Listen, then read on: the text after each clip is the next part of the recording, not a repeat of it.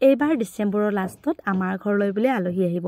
ডিচেম্বৰ মাহ যাবলৈ হ'ব মই কিন্তু সাজখিনি থ'ব পৰা নাই। কাৰণ বহুতে কৈ আছিলে অকণমান ৰহি থ'বা।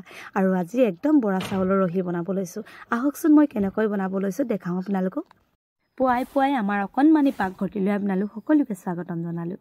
আৰু আজি ৰাতিপুৱাই বাৰীলৈ গৈ কলপাত তিনিখন কাটি আনি একদম চাফা কৰি ধুই আমাৰ অকণমানি পাকঘৰটোতে পাৰি থৈছোঁ। চাওকচোন ঠাইডোখৰ একেবাৰে নায়েই।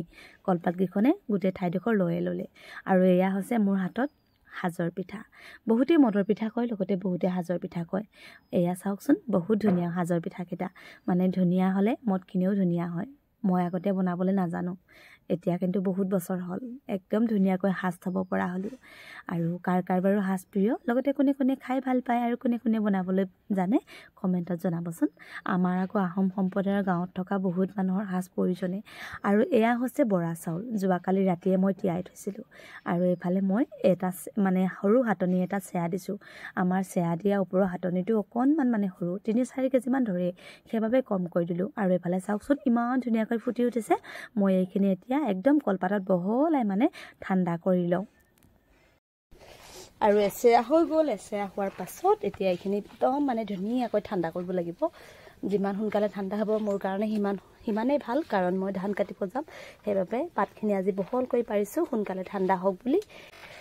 আৰু এই চেৰা হোৱাৰ পাছত ভাবিছিলোঁ দুচেৰা হ'ব কিন্তু নহয় তিনিচেৰা হ'ব কাৰণ আমাৰ চৌচেৰাটো অকণমান সৰু। আৰু ইয়াত আকৌ এবাৰ দি দিছোঁ এইখিনি এতিয়াই মাত্ৰ দিছোঁহে।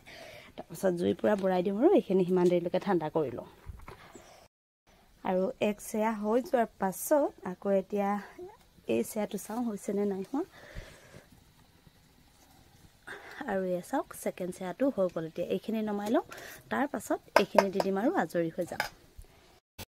আৰু কাঁহৰ কাঁহী এখনে বাতি এটা আনি ল'লোঁ। সাজৰ পিঠাকেইটা যিহেতু ধুনীয়াকৈ পিচিব লাগিব। আপোনালোকৰ ফালে বাৰু সাজৰ পিঠাৰ দাম কিমান? আমাৰ আগতে ইয়াত এটাত এটকা লৈছিলে বহুত ডাঙৰ হৈছিলে। আজিকালি কিন্তু এটাত এটকাই লয় বহুত সৰু। এয়া চাওকচোন সেইবাবে এক কেজি চাউলত কেইবাটাও সাজৰ পিঠা দিব লগা হয়। আৰু এনেকৈয়ে মই সাজৰ পিঠাকেইটা ধুনীয়াকৈ মানে হেঁচি হেঁচি পাউডাৰ কৰি লৈছোঁ। কাঁহৰ কাঁহীখনত দি দিলে মানে কাঁহৰ কাঁহীখন যিহেতু টান লগতে বাতিটোও টান আৰু ধুনীয়াকৈ মানে পাউডাৰ হৈ যায়। যিখিনি পাউডাৰ কৰিব নোৱাৰোঁ সেইখিনি হাতে এনেকৈ মোহাৰি মোহাৰি পাউডাৰ কৰি ল'ম। এয়া মোৰ লাহে লাহে হৈছেগৈ আৰু আৰু অকণমান আছে অকণমান অকণমান গোটা গোটা থাকিলেও একো নহয় কিমাননো পাউডাৰ কৰিম এনেকৈ কিন্তু পাউডাৰ হ'লে বেছি ভাল। তেতিয়া মিশ্ৰণটো মানে ধুনীয়া হয়। আৰু এয়া চাওকচোন মই মানে চাউল মানে যিখিনি মই চেয়া দিছিলোঁ বৰা চাউলৰ ভাত যিখিনি হৈ গৈছিলে সেইখিনিৰ লগত মানে মই ধুনীয়াকৈ মিক্স কৰিয়ে লৈছোঁ। আৰু আজি ডাইৰেক্ট ভৰাই দিম মানে এতিয়া আৰু খৰাহিত থৈ দিবলৈ নাই। খৰাহিত থৈ দিলে হয় কিন্তু এতিয়া ঠাণ্ডা দিন সেইবিলাক কৰি নাথাকোঁ। যিহেতু কম চাউল সিজাইছোঁ সেইবাবে এনেকৈ থৈ দিম। আৰু অকণমান মই সাজৰ পিঠা তিয়াইও থৈছোঁ। আৰু এনেকৈ কৰিয়ে কৰিয়ে আৰু তিনিদিন চাৰিদিনৰ পাছত কি ধুনীয়া সুগন্ধি ওলাব। লগতে বিছ পোন্ধৰ দিনত খাব পৰা হৈ যাব। আৰু কোনে কোনে এনেকৈ বনাই কমেণ্টতো জনাব।